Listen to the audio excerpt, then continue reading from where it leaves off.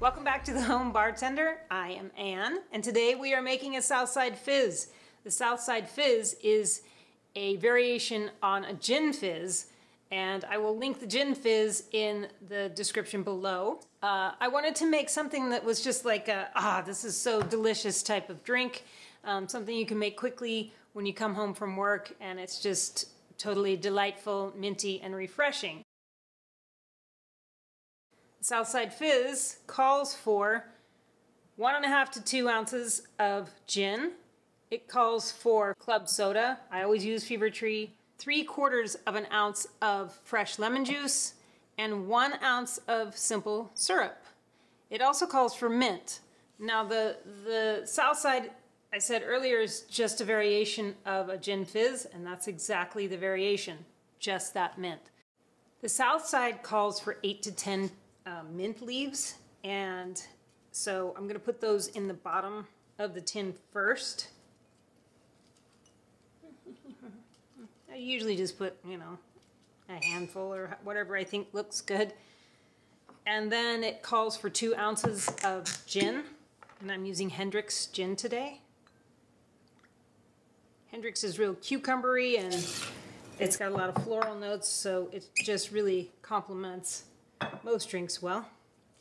Then it calls for three quarters of an ounce of lemon juice.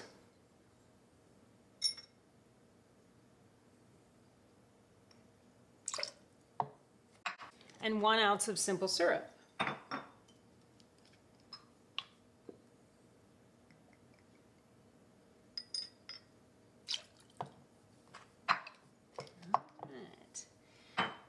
Next we're gonna grab our ice. Load up the ice there in the tin. That out of the way so I don't get it. This up. Give a quick shake.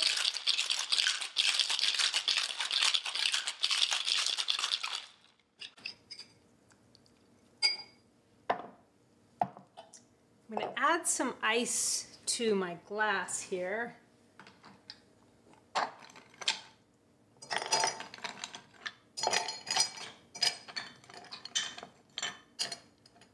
Mm-hmm. There we go. Let's double strain this with your Hawthorne strainer and your tea strainer over the top. But if you like little mint pieces, you don't mind that, kind of like what's in a mojito, then you don't need to double strain this. And then we're going to top it off with some club soda.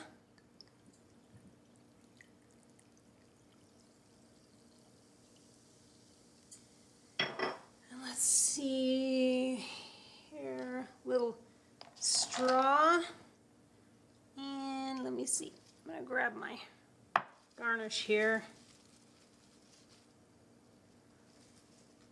Garnish with a little bit of mint over the top. And that is a Southside Fizz.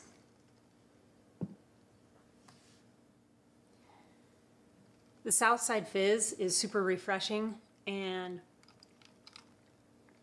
it's just a hot summer delight. It's great, bubbly, minty, citrusy. Like I said, the Hendrick's gin has kind of a cucumber and citrusy taste to it, and that just complements this really well. It's easy to make. It's easy to take on little trips to the coast, and and um, I oftentimes make this one for friends and have it here at the house, and people are always super delighted and, and want the recipe for this.